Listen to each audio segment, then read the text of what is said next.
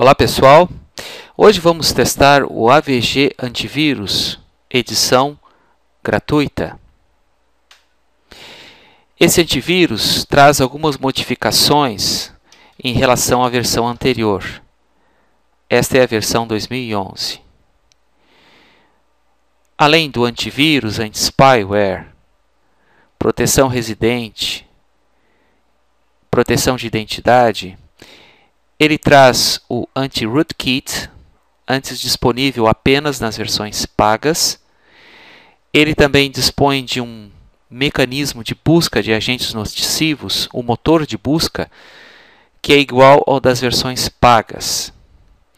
Ele também dispõe do Online Shield, que é um componente que checa automaticamente arquivos baixados e compartilhados.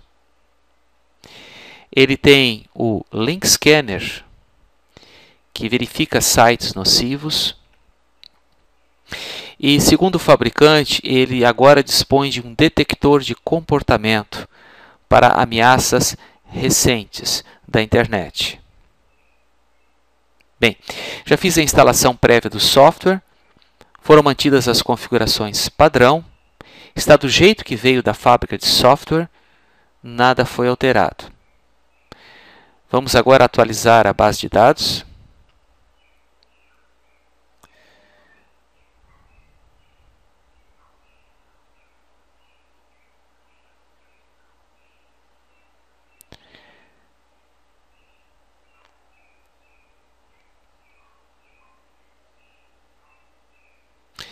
Como vocês puderam ver, esta versão também traz uma nova interface.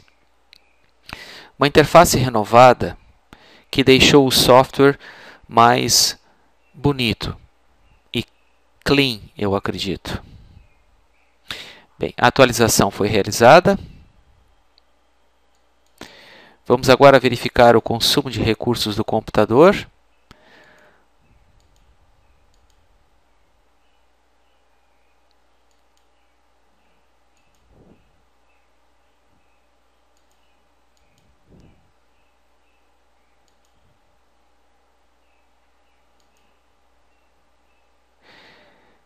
em torno de 40 megabytes de memória RAM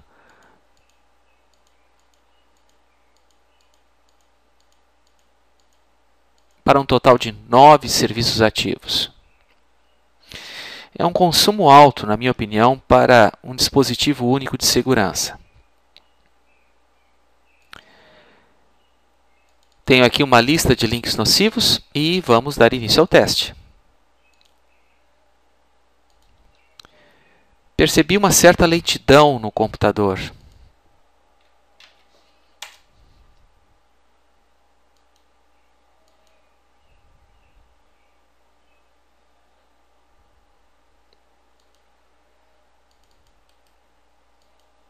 Experimento até agora sem resposta.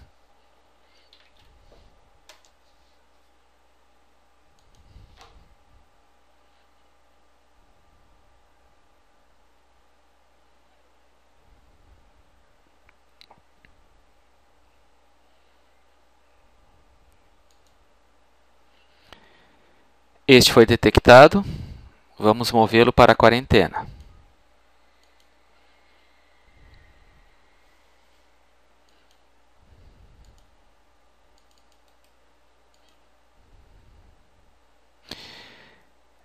Ele, ele recomenda a reinicialização. Vamos reinicializar mais tarde o computador.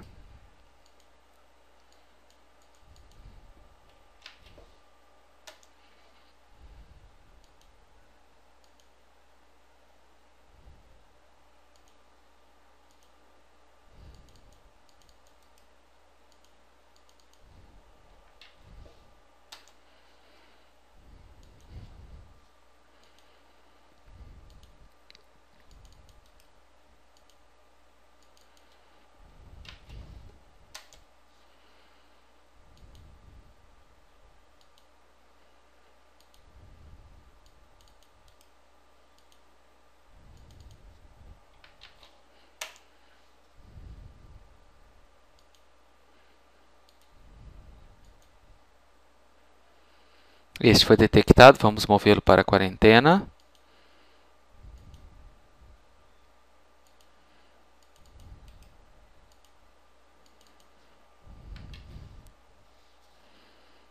Este também foi detectado.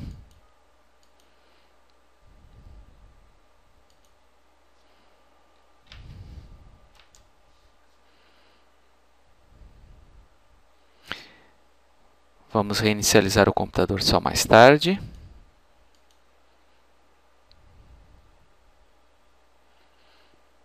Vamos mover essa ameaça para a quarentena.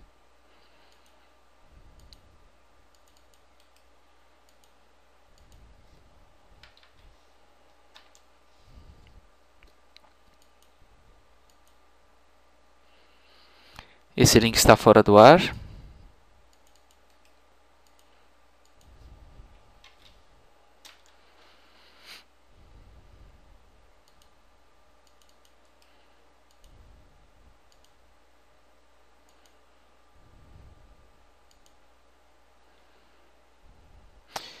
Este foi detectado e vamos movê-lo para quarentena.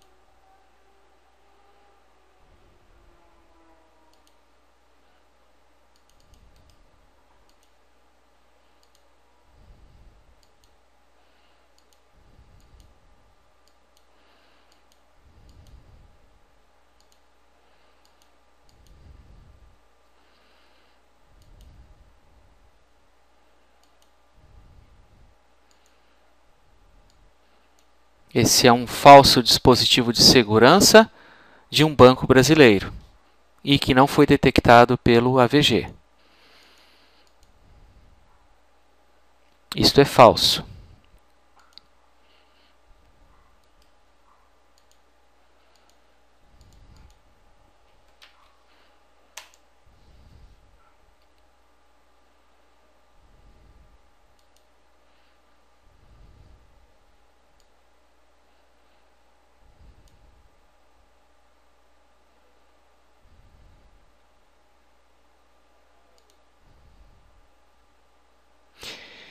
Este link está fora do ar.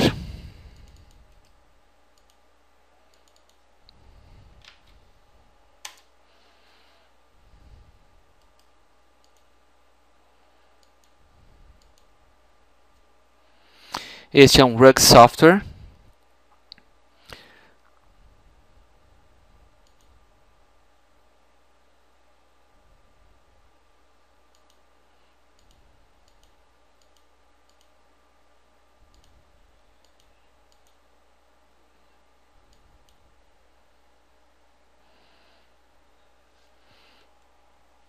E que foi detectado pelo AVG como um malware. Vamos movê-lo para a quarentena.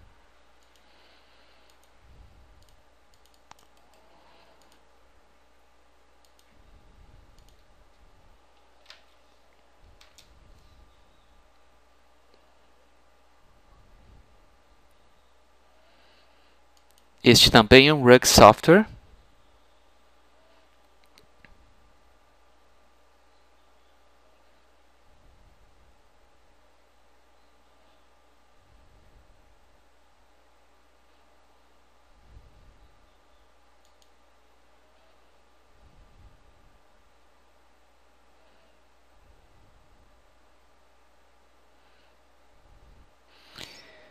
E este foi detectado.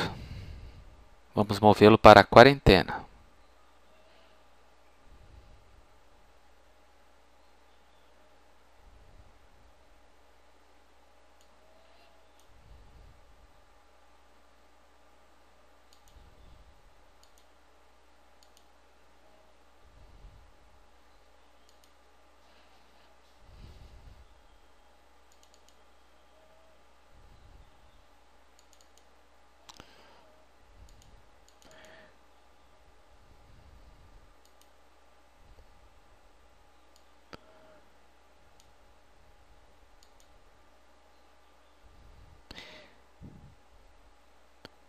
Veja que eu não estou conseguindo mais abrir esse arquivo de texto.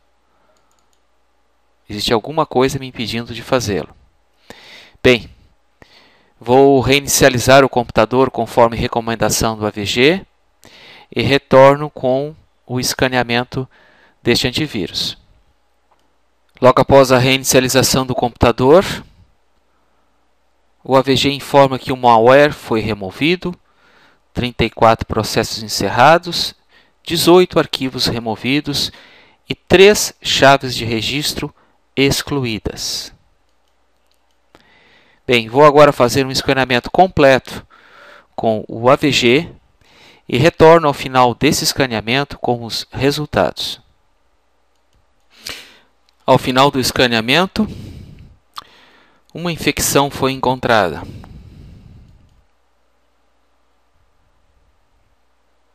E já foi removida.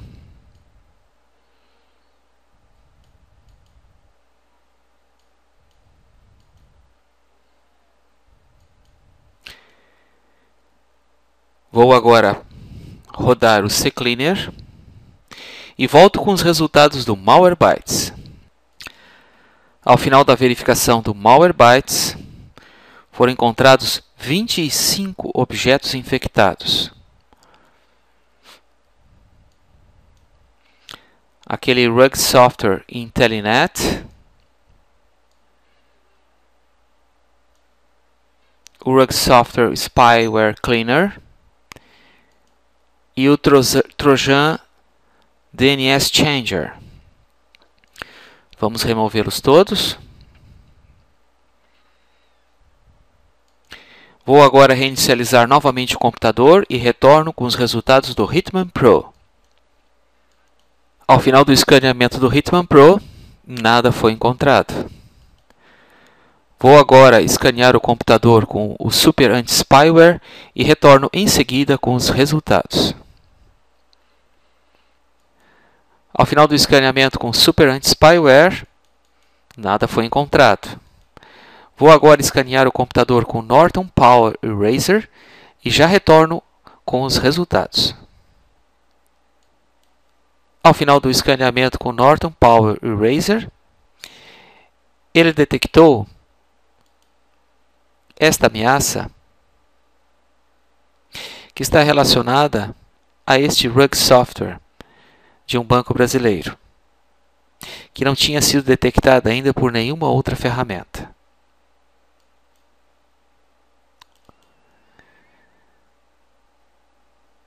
Bem,